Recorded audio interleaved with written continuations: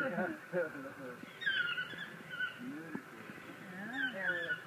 sometimes you spend a month without seeing one.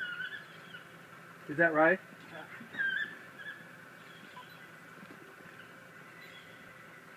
In the mangrove forest, looking at some toucans.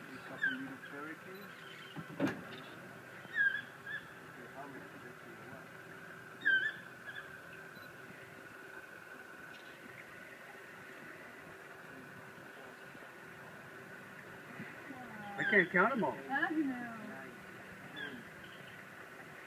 Ten.